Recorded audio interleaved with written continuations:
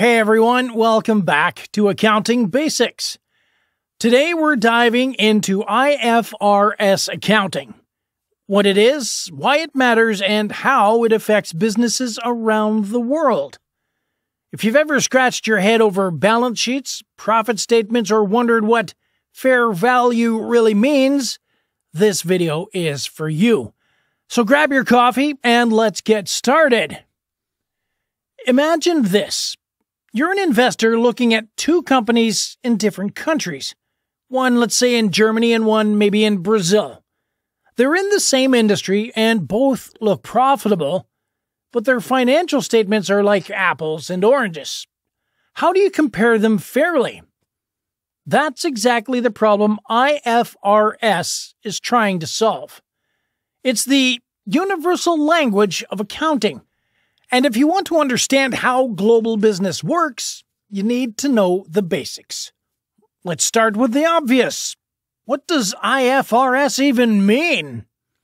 IFRS stands for International Financial Reporting Standards. These are a set of accounting rules and guidelines developed by the International Accounting Standards Board, or the IASB, which is a non-profit based in London. The goal was to create transparent, comparable, and consistent financial statements across the globe. Instead of each country having its own unique accounting system, IFRS allows investors, regulators, and businesses to speak the same language. Over 140 countries currently require or permit IFRS, including the UK, the EU, Australia, and much of Asia and South America. The big exception? The United States, which still uses USGAAP. More on that in another video. Alright, so how does IFRS work in practice? Let's look at five core principles you need to understand. 1. Accrual basis. IFRS uses accrual accounting, which means revenues and expenses are recorded when they are earned or incurred, not when cash changes hands. This gives a more accurate picture of a company's financial health. 2. Going concern. This assumes the company will continue operating into the foreseeable future.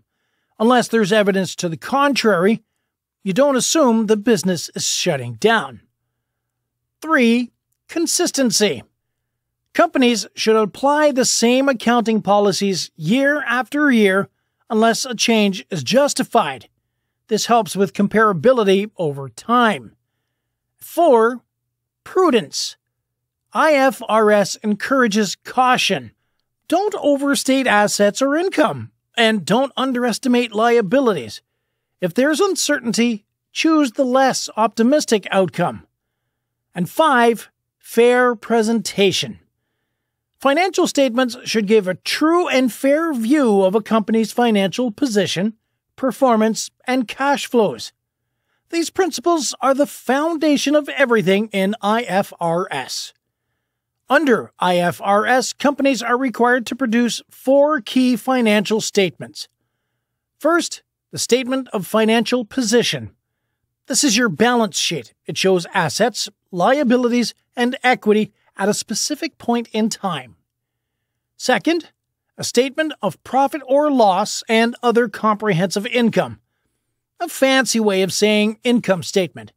It shows revenue, expenses, and profits. Thirdly, a statement of changes in equity.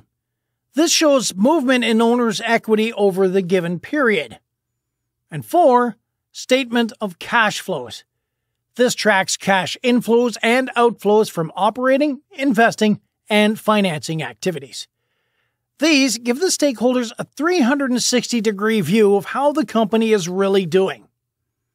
A common question is how is IFRS different from GAAP, which is generally accepted accounting principles? Here are three quick differences. Rules versus principles.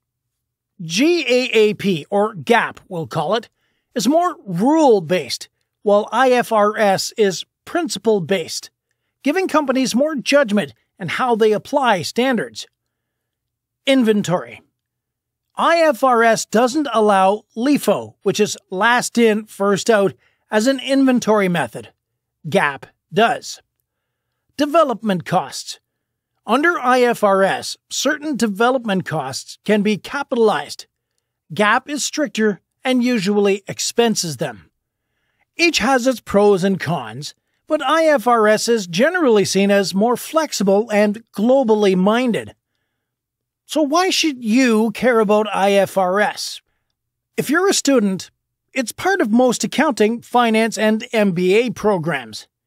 If you're an investor, understanding IFRS helps you analyze international companies.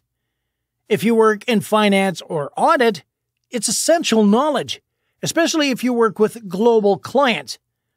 And if you're a business owner expanding internationally, Adopting IFRS can improve your credibility and access to global capital. In a global economy, knowing IFRS is like having a universal passport for business. And that's a wrap on the basics of IFRS accounting. We covered what it is, the key principles, the main financial statements, and how it stacks up against GAAP. Let me know in the comments do you prefer IFRS or GAAP? Or are you just trying to survive your accounting class? If this video helped you, hit that like button, subscribe for more, and turn on notifications so you don't miss our future videos. Thanks for watching, and I'll see you in the next one.